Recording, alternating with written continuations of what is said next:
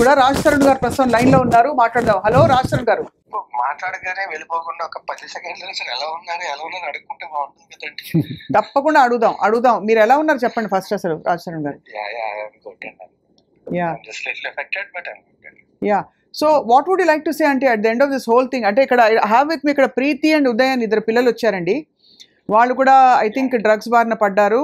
చాలా అంటే it's it's a shocking thing because వాళ్ళ ఇళ్ళలో తెలిసిన వాళ్ళ జీవితాలు భవిష్యత్తు తలుచుకున్నా కూడా ఏం అయి ఉండొచ్చు అని తలుచుకుంటే ఏం చెప్పదలుచుకున్నారు రాచుకుంటారు మీరు? అంటే హానెస్ట్లీ నాకు అంటే నాకు ఒక చిన్న అవగాహన ఎక్కడో దగ్గర ఉంది కానీ. నేను ఎప్పుడు చూడలేదండి. వాళ్ళు ఏంటంటే నేను ఎప్పుడు నేను షూటింగ్ వెళ్ళేవాడిని. షూటింగ్ వెళ్ళి రాత్రి వచ్చేవాడిని. వచ్చిన తర్వాత కొంతసేపు వాళ్ళతో టైం స్పెండ్ ఆ ప్రీతి నాకు చెల్లి లాంటిది. ఉదయం నాకు నిజంగానే తమ్ముడు లాంటి వాడు. వాళ్ళిద్దరూ నాకు బాగా సన్నిహితులు. సన్నిహితులు కానీ అంటే ఏంటంటే ఏదో ఫోన్లో మాట్లాడుకొని అలా కాదు. అంటే ఇంటికి వచ్చినప్పుడు ఇంట్లో ఇంట్లో కలిసినప్పుడు అప్పుడు కూడా చాలా మాడుకునే వాళ్ళం ఉదయం అయితే మా ఇంట్లోనే వంట కూడా చేసి పెట్టేవాడు. చాలా బాగుంటుంది కూడా తను. మ్మ్. అండ్ ప్రీతి కూడా అంతే. She she very nice guide so are you shock to know ఇప్పుడు మీకు షాకింగ్గా ఉందా? అంటే వాళ్ళు ఇలాంటి ఒక సమస్యలో ఇరుక్కున్నారని? ఇంతకు ముందు కూడా ఇంతకు ముందు కూడా నాకు అవగాహన ఉందండి. నేను క్లియర్గా నేను చూసాను అని చెప్పట్లేదు కానీ నాకు తెలుసండి. నాకు అవగాహన అయితే ఉంది.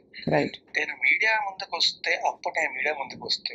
మళ్ళీ నా పరువు ఎక్కడ పోతుందో అన్న భయంతోనే ఆగాను. బట్ నాకు ఆ ప్రీతి మన ఇంటర్వ్యూలో చెప్పినప్పుడు నేను కూడా షాక్ అయ్యాను. అంటే ఇలా బలవంతంగా పెట్టడం బలవంతంగా ఇవ్వడం అది నాకు తెలియదండి. అది నాకు చాలా తప్పు అనిపించింది సో ఓవరాల్గా మరి అంటే ఏమైనా చెప్పదలుచుకున్నారా ఈ విషయంలో? ఇదర్ అబౌట్ అంటే లావణ్య గురించి కానీ జరిగిన పరిణామాల గురించి ఏమైనా చెప్పదలుచుకున్నారా రాజ్ మీరు? లావణ్య లావణ్యకి నాకు అగేన్స్ట్ ఏది లేదండి. ఒకటి ఏంటంటే ఆవిడే ముందుకు వచ్చింది మీడియా ముందుకు వచ్చింది ఆవిడే గోల్ పెట్టింది ఆవిడ ఇచ్చేసింది. ఇప్పుడు ఆవిడ వేరే అతనితో రిలేషన్షిప్లో ఉన్నట్టు మొత్తం అన్ని ప్రూఫ్స్ ఆవిడ ఇచ్చిన కంప్లైంట్స్ అన్ని ఉన్నాయి మన దగ్గర. రైట్ అన్ని ఉన్నాయి. అండ్ శేఖర్ భాష గారు మీడియా ముందు కూడా చూపించారు. అండ్ ఆవిడ పోలీస్ స్టేషన్కి వెళ్ళి ఫైల్ చేసిన కంప్లైంట్లే అవి. ఆవిడ మీద డ్రగ్ కేసులు ఒకటి కన్సంప్షన్ ఇంకొకటి పెడలింగ్. ఈ రెండు కూడా పోలీస్ స్టేషన్లో కంప్లైంట్ అండ్ ఫైల్స్ అన్ని ఆవిడ మీద ఉంది right. Still personally I don't have anything against the only thing is నాకు అన్నిటికంటే ఎక్కువ బాధేసింది ఏంటంటే ఒకటి. మా పేరెంట్స్ ఇబ్బంది పెట్టడం. చాలా తప్పది. రెండు. శేఖర్ భాష అనే వ్యక్తి ఆయన ఏదో ఎలిగేషన్ చేయట్లేదు కదా. మ్మ్. ఎలిగేషన్ చేయట్లేదు కదా. ఆయన ప్రూఫ్లు మాత్రమే పట్టుకొచ్చి మాట్లాడుతున్నారు. ఇప్పుడు అలాంటి ఆయన మీద చెప్పులు విసరడం ఆయన ముందు మాట్లాడడం ఇప్పుడు ఆవిడనే కాదండి. ఇప్పుడు ఆవిడ నేను నిజంగా అనకూడదు కానీ ఇప్పుడు దిలీప్ శంకర గారు. ఆయన అలాంటి మాటలు మాట్లాడొచ్చా అండి? ఆయన చాలా చదువుకున్న వ్యక్తి చాలా స్థాయిలో ఉన్న వ్యక్తి అలాంటి మాటలు మాట్లాడొచ్చు. కరెక్ట్ కాదు కదా. అవును. చాలా కరెక్ట్ కరెక్ట్ కానీ ఆశ్చర్యం కలిగించే విషయం ఏంటంటే మీరే కావాలని ఒకవైపు కోరుకుంటూ మళ్ళీ మీ పేరెంట్స్ని కూడా దూషిస్తూ రకరకాల మాటలు అనడం అంటే దీనికి పొంతం లేకుండా అనిపిస్తోంది ఈ- విషయాన్ని ఈ విషయంలో. ఈ ఈ దీనికి దీనికి పొంతం లేకుండా. ఈ- ఈ ఆస్పెక్ట్కి మీరు కూడా లేడీ కదా. మీకు. అంత ఇప్పుడు ఎవరైనా సరే మనకు కావాలి అనుకుంటే. అడిగే విధానం కానీ. అప్రోచ్ అయ్యే విధానం వేరుంటుంది కదా. అయితే ఎందుకు ఎందుకు తను అలా అనుంటారు మరి? అనుకుంటే నేనే కావాలి అనుకుంటే నన్ను మీడియా ముందుకు వచ్చి నా కెరియర్ పాడు చేయడానికి అది కూడా క్లియర్గా ఉంది కదా ఆడియోలోని. నిన్ను రోడ్డుకి ఈడుస్తా నీకు సినిమా లేకుండా చేస్తా నేనే కావాలి అనుకుంటే అలా ఎందుకు చేస్తారండి. అంటే ఏ ఏ ఏం జరుగుంటుంది రాజ్ మీరు చెప్పండి. అంటే కక్ష కట్టారా మీ మీద? లేక మిమ్మల్ని ఈడ్చి కింద పడేయాలనా? ఏంటి? వాట్ ఇస్ అర్ ఇంటెన్షన్ అని మీరు అర్థం చేసుకుంటున్నారు? ఇంటెన్షన్ ఏంటో నాకు తెలియదండి. నాకు Hmm. నిజంగా అంత ఐడియా లేదు. నేను ఒకటే నాకు తెలిసింది ఏంటంటే Hmm. ఆవిడ ఇంతకు ముందు ఆవిడ మీద కేసులు ఉన్నాయి. ఓకే పక్కన పెట్టద్దు. ఉమ్, ఆవిడ కూడా కేసు పెట్టింది. ఓకే నా మీద కూడా కేసు పెట్టింది. ఓకే. ఇప్పుడు ఏంటంటే ఆవిడ మీద ఆల్రెడీ మూడు కేసులు నాలుగు కేసులు ఉన్నప్పుడు అదే స్టేషన్లోనే ఆవిడ నా మీద కేసు పెడితే ఫైల్ చేశారు. ఓకే అది కూడా ఓకే. నేను లీగల్ అయినా ఫైట్ చేసుకుంటాను. ఈ విషయంలో చాలా క్లారిటీ నేను లీగల్గా ఫైట్ చేసుకుంటాను ఎందుకంటే నా దగ్గర ప్రూఫ్స్ ఉన్నాయి. ఆవిడ దగ్గర ఏం ప్రూఫ్స్ ఉన్నాయి? ఆవిడ ఏం చూపిస్తున్నారు ఆవిడ? ఆవిడ చూపించేది అంటే రెండు వేల పద్నాలుగు రెండు వేల పదిహేను. నేను క్లియర్గా వచ్చి ఫస్ట్ నేనే మీడియా ముందుకు వచ్చి మీడియా ముందుకు వచ్చి అందరికంటే ముందు మాట్లాడింది నేనే. రెండు వేల పద్నాలుగు నుంచి ఆవిడ ఇది పదిహేను ఏళ్ళు పద్నాలుగు ఏళ్ళు కాదండి. రైట్. నేను రెండు వేల పన్నెండు చివరిలోని. ఆల్మోస్ట్ రెండు వేల పన్నెండు అయిపోయే టైంకి హైదరాబాద్ వచ్చాను అప్పుడు నేను సినిమాకి పనిచేయడం మొదలుపెట్టాను ఆ తర్వాత ఆవిడ పరిచయం అండి మా రిలేషన్షిప్ రెండు వేల పద్నాలుగు కాదు కాదు. రెండు వేల పద్నాలుగు రెండు వేల పద్నాలుగు అండి సినిమా రిలీజ్ అయిపోయి హిట్ అయిన తర్వాత మొదలైందంటే అది కూడా నేను ఒప్పుకుంటాను. రైట్. ఇందులో కూడా ఎలాంటి అబద్ధం లేదు. అప్పటి నుంచి రెండు వేల పదిహేడు టైంకి మా ఇద్దరి మధ్య ఎలాంటి ఆ తర్వాత మా ఇద్దరి మధ్య ఎలాంటి ఫిజికల్ రిలేషన్ కానీ ఏమీ లేదు. అక్కడి నుంచి కూడా నేను ఇబ్బంది పడ్డాను. ఏవన్నా మాట్లాడితే బ్లాక్ మెయిల్ ఇదే ఉంటుంది.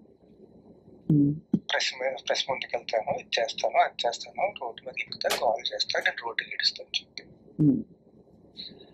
ఇప్పుడు నాకే కాదండి. ఇప్పుడు ఉదయ్ ఉన్నాడు. అక్కడే ఉన్నాడు ఉదయ్. పాపం తన కూడా ఇప్పుడు తన ఫోన్ నా ఫోన్ నా ఫోన్లో ఆకుదని ఆవిడే చెప్పింది కదా. నా ఫోన్ రాస్తారం ఫోన్ నా దగ్గర ఉంది రాస్తారం ఫోన్ నా దగ్గర ఉంది రాస్తారం ఫోన్ అని చెప్పి. ఇప్పుడు it not invasion of a privacy absolutely అంటే బట్ అంటే ఇట్స్ సర్ప్రైజింగ్ దట్ అసలు ఇంత జరగడానికి ఆస్కారం ఒక మనిషి ఇంతమందిని ఎందుకు బాధ పెడుతున్నారు ఎందుకు ఫోన్లు లాక్కుంటున్నారు ఎందుకు బెదిరిస్తారని ఏం కోరుకుని అని? ఏం కోరుకోవడం కాదండి. అందరినీ కూడా చేతుల్లో పెట్టుకోవాలి. ఆవిడ ఎలా చెప్తే తోలు బొమ్మలు అందరూ ఆడాలి. నాకు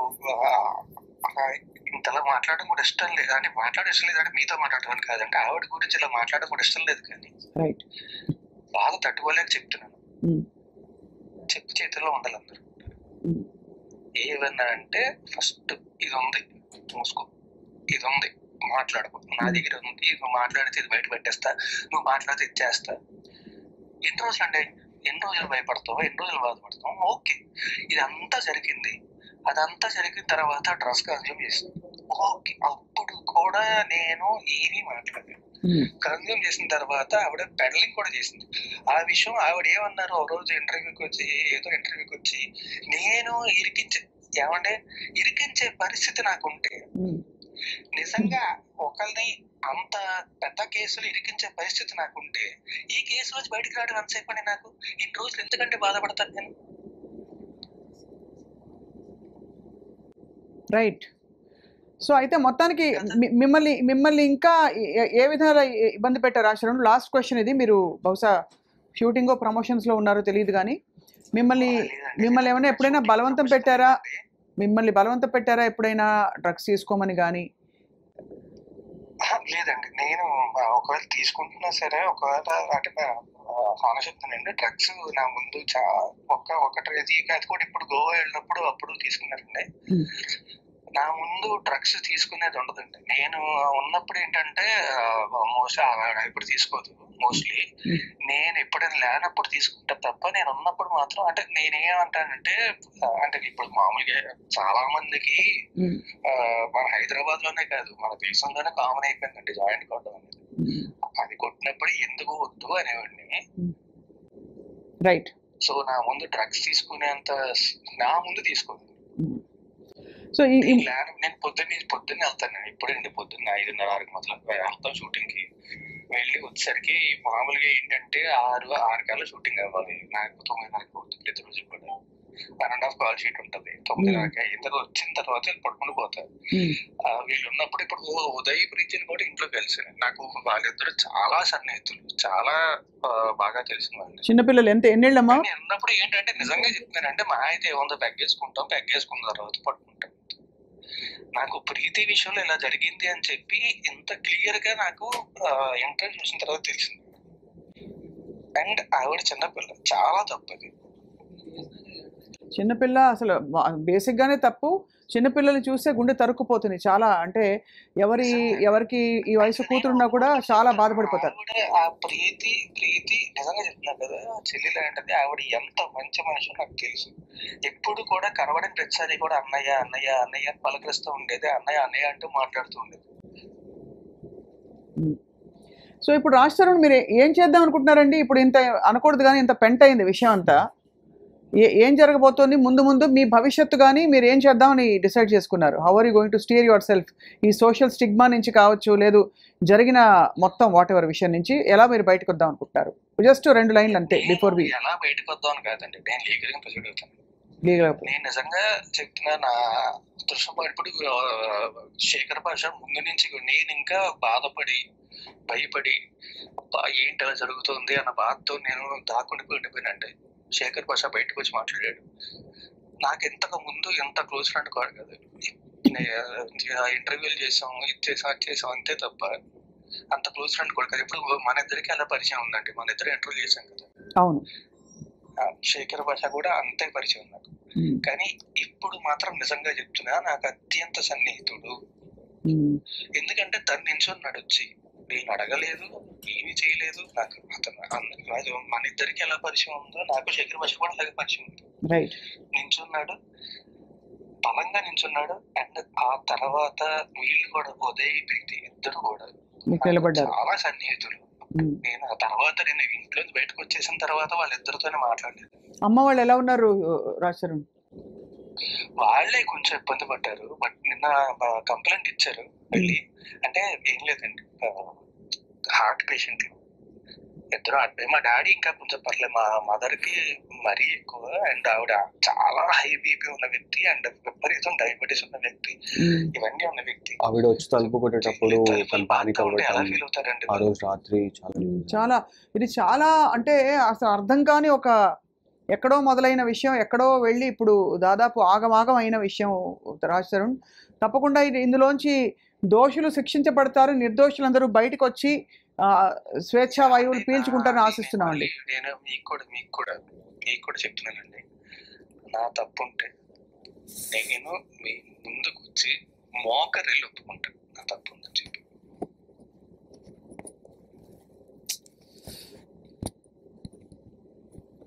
హలో? ఇది మాత్రం ఖచ్చితంగా చెప్తున్నాను నేను. రైట్. నా తప్పు ఉందంటే మీ ముందుకు వచ్చి మోకరిల్లు మరి ఒప్పుకుంటాను నా తప్పు.